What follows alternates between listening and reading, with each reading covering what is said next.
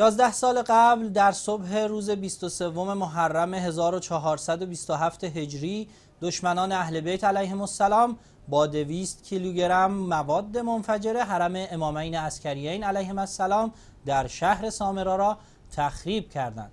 نزدیک به 16 ماه پس از آن فاجعه سنی های تندرو در سایه اوضاع نابسامان امنیتی عراق اشغال شده در بمبگذاری دیگری دو مناره این بارگاه مقدس را نیز ویران کردند. به گفته نیروهای امنیتی وقت عراق این حمله توسط یک گروه هفت نفره منتصب به القاعده انجام شد.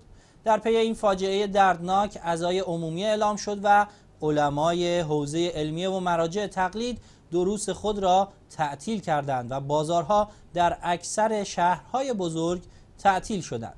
در همین زمینه آیت الله العظما سید صادق حسینی شیرازی مدز الله العالی طی سخنانی فرمودند این جنایت فاجعه بسیار بزرگ است و دامنه آن هیچگاه پایان نمیپذیرد. انشاءالله این مکان مقدس به نحو احسن بازسازی می شود و توفیق زیارت این بارگاه برای همگان امکان پذیر خواهد شد. ولی با این حال چون این فاجعه هیچگاه و به هیچ نحو جبران نخواهد شد. لازم به ذکر است حرم شریف امام هادی و امام حسن عسکری علیهم السلام در سامرا سیزده بار در طول تاریخ به دست سنی های تندرو تخریب شده و هر بار با همت و غیرت شیعیان بازسازی شده است.